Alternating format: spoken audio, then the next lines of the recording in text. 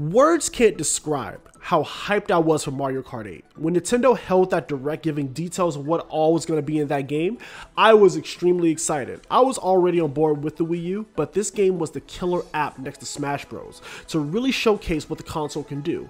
Unfortunately, the Wii U did not sell that well, but Mario Kart 8 was still a moderate success. The visuals, the soundtrack, and even the downloadable content, this game is easily one of the best games on the Wii U. However, for this review, I'll be looking at the re-release, Mario Kart 8 Deluxe for the Nintendo Switch. Just like many Wii U titles, Mario Kart 8 was one of the first games to get ported over. Now, this is not just a straight up port. Nintendo did polish the game up quite a bit, bumping the resolution up to 1080p, locking it at 60 FPS, including the Wii U DLC, and even revamping the battle mode. More of that later. I say that to say this. This is the definitive way to experience Mario Kart 8, so if you have a Nintendo Switch, grab this version. So where do we start with Mario Kart 8?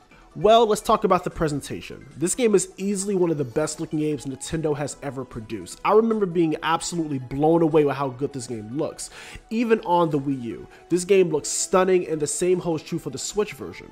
The lighting, the weather effects, the character models, it all looks amazing, making this hands down the best looking Mario Kart ever made.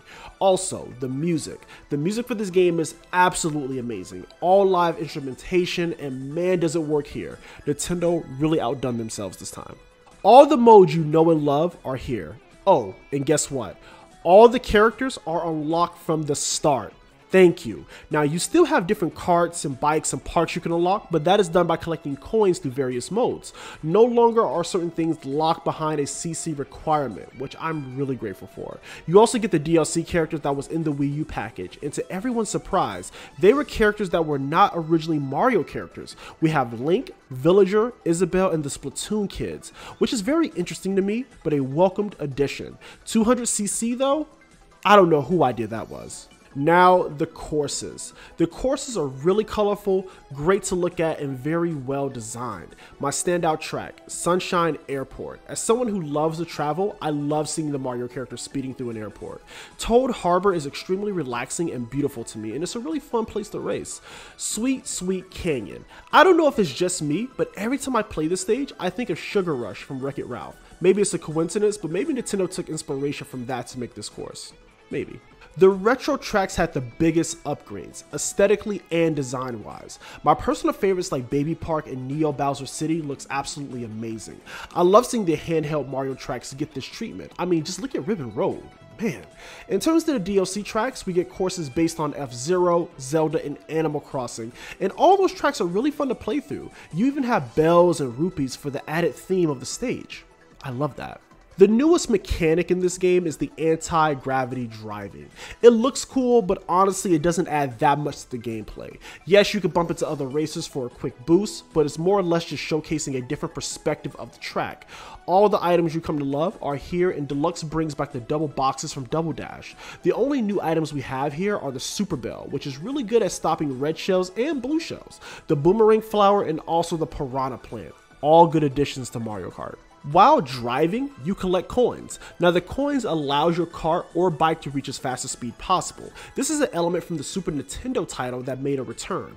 Also, you have things like tilt control and auto acceleration. This allows the game to be more accessible for newcomers. Mario Kart 8 is definitely the most polished game in the franchise so far. Now the online mode. This is where I spent most of my time in this game. The online play is super addicting and intense. I always find myself having one of those one more game moments. It's really fun. And the battle mode, man, the battle mode in the Wii U version was terrible, but Nintendo went back and fixed all of that. Each mode is super fun and just like the races, it's addicting and intense. Now, the only complaint I have about Mario Kart 8, the AI is a bit on the easier side this time around.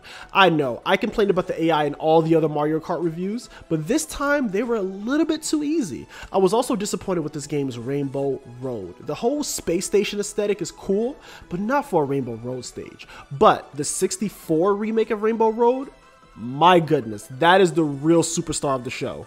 Overall, Mario Kart 8 Deluxe is the most polished and offers the most content out of any Mario Kart title to date. The online races and the battles are the heart of the game for me. I love the course design, the visuals, and everything is just great here. Mario Kart 8 can easily be considered the best Mario Kart from a technical perspective. I'm not mad at that at all. Is it my favorite? No, but this game is a masterpiece in the kart racing genre, and this is an essential game for anybody who owns a Nintendo Switch. With that being said, thank you all for watching, and I'll see you next time.